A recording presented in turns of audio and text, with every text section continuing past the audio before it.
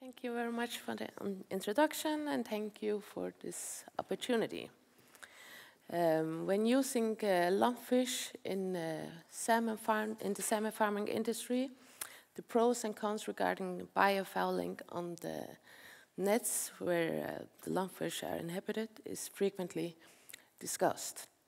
Some claims that uh, the biofouling on the net might interfere with the cleaning efficiency of the lumpfish if the lumpfish prefer to eat uh, organisms of the net instead of sea lice of the salmon, while others prefer to have their nets heavily coated with biofouling, as this obtain an environment similar to the natural environment of the lumpfish, giving them both shelter and, um, and something to stick to, as well as guarding them from strong currents and rough seas in general. So here we'll look a bit into what we see uh, regarding biofouling on the nets and lumpfish in the Faroe Islands. Uh, when we do lumpfish monitoring, we also register uh, how uh, the nets, uh, biofouling on the nets. We group the uh, nets, the biofouling into four different categories, where the first category is clean nets, and the second category is light biofouling. The third category is occasional uh, macroalgae, and the fourth category are nets uh, heavily coated with macroalgae. Uh, since the, due to seasonality are very few uh, uh, category 4 registered nets in, in autumn and winter. We have excluded these from the data, but still have approximately 10,000 fish to work with.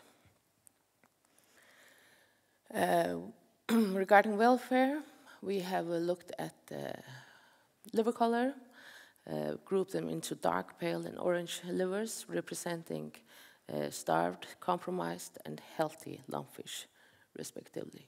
Regarding the condition of the uh, lumpfish, we have uh, we are looking at the Fulton's K, the relationship between uh, length and weight of the fish.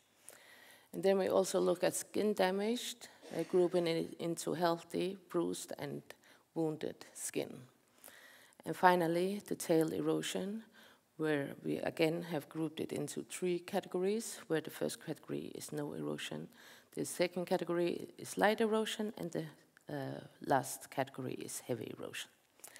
Uh, this, the grazing, uh, the cleaning efficiency, efficiency, is measured as uh, the average number of sea lice found in the lumpfish stomachs. Uh, since the biofouling of the nets probably is very much linked to how long the nets have been in, uh, in, the, in the sea, uh, we also look at different sizes of lumpfish, so the data isn't biased by. Uh, and as you can see, the average number of sea lice uh, number found in the in the lumpfish was higher when there was some biofouling on the nets. It was only the very clean nets that had uh, significantly fewer lump, sea lice in the lumpfish stomachs. However, this uh, tendency decreased with increasing size of lumpfish. And when the lumpfish had passed 100 grams, this, uh, there was no significant correlation anymore. But, uh, but the trend somehow seemed to still uh, be there. Regarding uh, the welfare of the lumpfish, we found a significant uh, correlation between all the parameters we talked about earlier in the presentations. However, they didn't really gave any logical sense, uh, all but, but the uh, tail erosion. Uh, and a high value uh, means um, more eroded tails. And the more uh, was registered on the net of the cage from which uh, the lumpfish were sampled, the less eroded was uh, the tail of the lumpfish.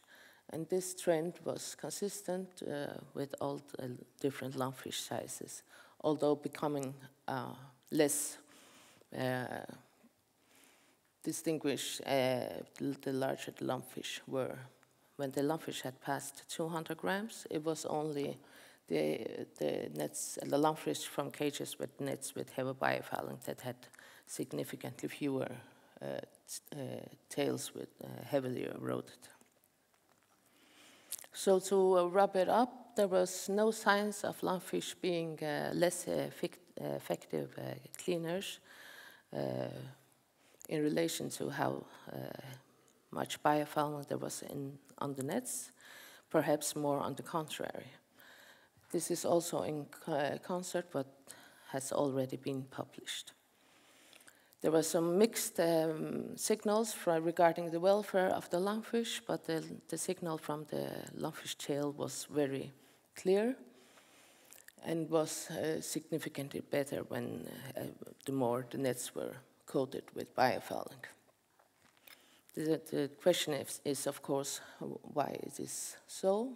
Is it because it reduces wear of the, of the cell? Uh, does it inhibit uh, bacterial activity or does it diminish uh, competitive behavior between lumpfish, uh, such as biting, which, which is frequently observed in the hatchery? Yeah, thank you for listening and thank you to Hidden Bakkavest